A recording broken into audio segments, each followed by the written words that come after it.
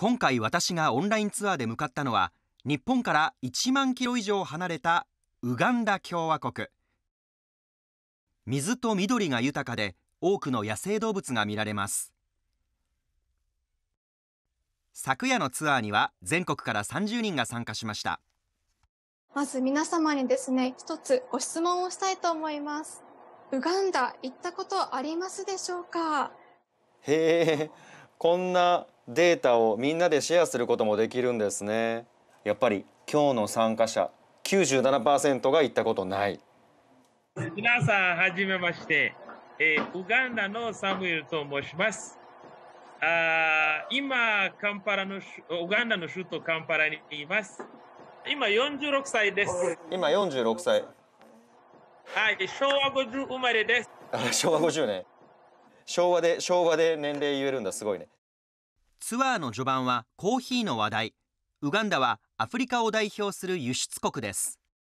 ウガンダはですね、コーヒーはたくさん作っているんですけれども、でも私たちはコーヒーはずっと飲めなくて、あのコーヒーはあのキャッシュクロップ、お金になるものということで、作ったコーヒーはゆあの売って、学費とかあの病気になったらの保険のイメージなんですけれども、続いてウガンダを代表する観光地。そこは山の中でした。ここからはゴリラトレッキングですって。森の中に入っていきますね。野生のゴリラ？実際はレンジャーが道を切り開きながら2時間歩くツアーですがオンラインでは汗もかかず一気に目的地に到着です。えー、野生のゴリラが こんな風にいるんだ森の中に。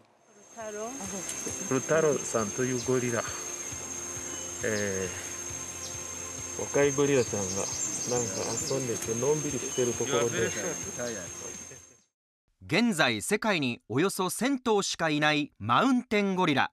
そのうちの320頭ほどがこの国立公園に生息していますマウンティンゴリラ小さくなってくることがもう本当に可能性が高かったんですけれども国立公園になってから政府とそれでこの国立公園の周りの人たちと一緒に力を合わせてゴリラのサンクチュアリに守ることは、えー力を入れてます。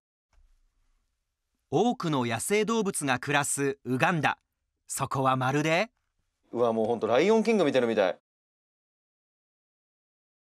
え？ライオン？ライオンを見ることもできる。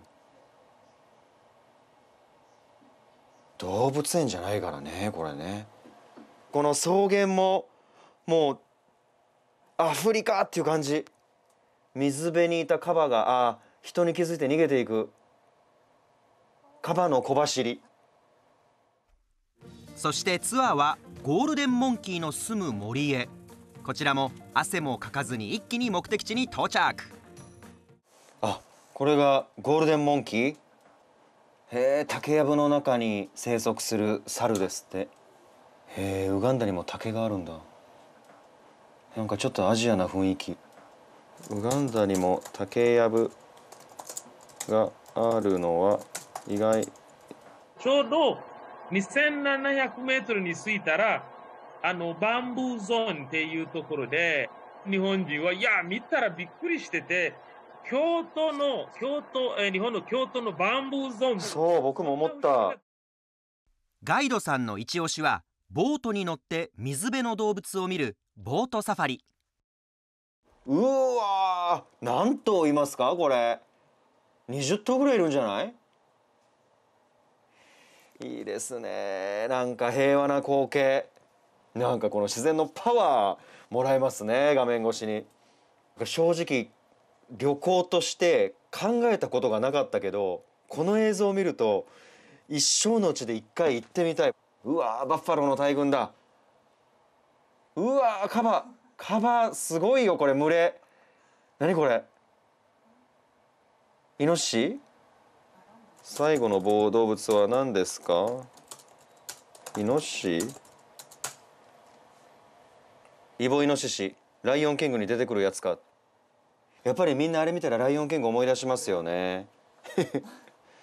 こういう参加してる他のお客さんとのこう会話じゃないけどね。こう共感みたいなものも体験できるって嬉しいな。1時間20分。500円のオンラインツアーは大満足で終了。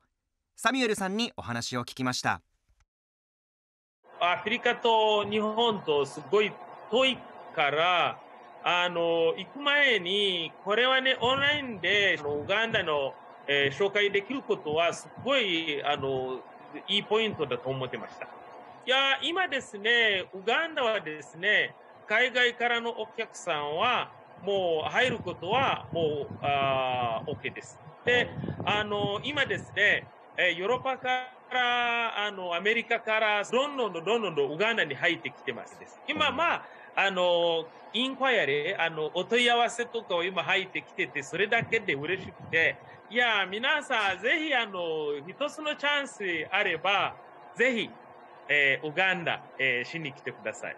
それで帰るときにウガンダのコーヒーのお土産を、えー、一つ持って帰ってください。よろしくお願いします。